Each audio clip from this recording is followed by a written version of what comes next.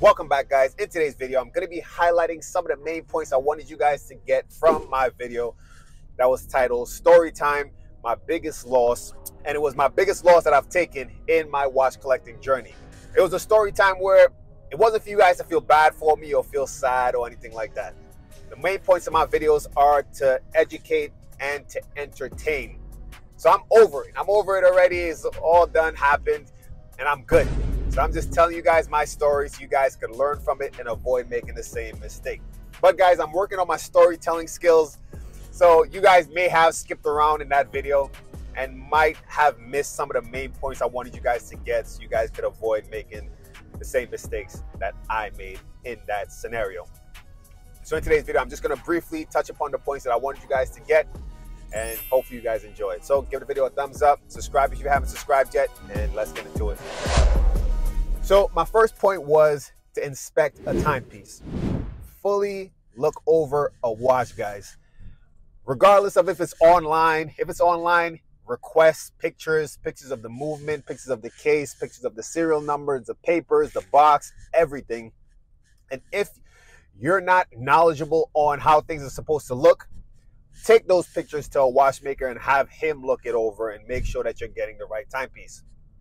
Now, my story time was of a timepiece I purchased on an online auction. But don't just take these points and apply just to online, you know, purchases. In person, if you're buying from a private seller, make sure you do your DD and make sure you don't make a mistake. If you're buying from a dealer, hey, guys, it's a world where there's a lot of untrustworthy characters. And in this watch game, there are for sure some. So not everyone you can trust. So if you're gonna go buy a timepiece from a dealer that you may not trust too well, take someone that's well familiar with timepieces with you when you're gonna go buy the watch. Yes, some dealers, you know, of course, you have a return policy. That's fine. You buy a timepiece. Once you buy it, take it to a watchmaker, have it inspected. If it's not correct, return it. Hopefully, the dealer takes the return and you'll be fine. But for sure, if it's a private sale or an online auction or just someone you don't trust, make sure you do your homework, do your due diligence to make sure you don't have a headache after making a purchase. The second point that I wanted you guys to get from that video, where I don't think I verbally said it, but I put the text in the video, was that this auctioneer required a wire transfer as payment.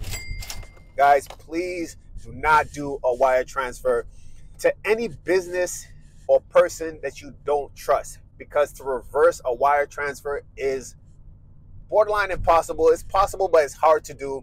And the chances are the time has gone past where you could reverse the wire. So use your credit card if you're going to make a payment and an online auction or in anything, especially large payments like that. Pay with your credit card and just pay it off afterwards, pay it off that month. Do not wire the funds. That that's that was my biggest mistake. Because if I would have paid with a credit card, guys, I could have just stopped it. That would have been it. Even days after, I could have stopped it. So, whenever you're gonna make a sketchy purchase, even if you don't know if it's sketchy, but a large purchase like that, a timepiece, pay with a credit card. You know, wiring the funds, you know, seems cool and all, but it's not if you end up in a situation like me where you buy a watch that wasn't fully authentic. And the last point I want you guys to get from that video is that I held myself accountable. Yes, the auctioneer, or let's say a person that you buy something from was sketchy or wanted to, you know, commit some type of fraud or scam you. Okay, that's that person. But in every situation, where there's a bad outcome, a negative outcome, I always hold myself accountable and, and ask myself and look over the situation like, how could I have avoided this outcome? What could I have done? What could I have said to avoid this from happening? Guys, in, in life, in any scenario, in every situation, hold yourself accountable, whether you're trying to point fingers and blame someone else. Okay, that's easy to do you always have to look back and try to figure out how you yourself could have avoided uh, whatever outcome that happened that you didn't really want to happen. So, accountability is always important. And if you do that, you'll definitely learn to not repeat the same mistakes.